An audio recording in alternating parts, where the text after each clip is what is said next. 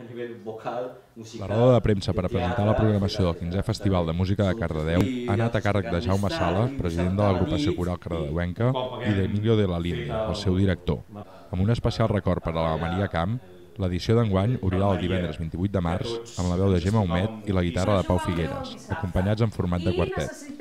El seguirà el dissabte al migdia l'espectacle El i les formigues, en una combinació de contes tradicionals catalans i mexicans que ja han pogut gaudir breument durant la presentació. El dissabte a la nit serà el torn de Passarà el temps, un quartet de tres veus femenines i un piano per oferir-nos un concert que va des del barroc fins a la música contemporània. Finalment, a la tarda del diumenge 30 de març, actuarà el cor de noies de Matadepera, acompanyats també de l'acordió de Carles Belda.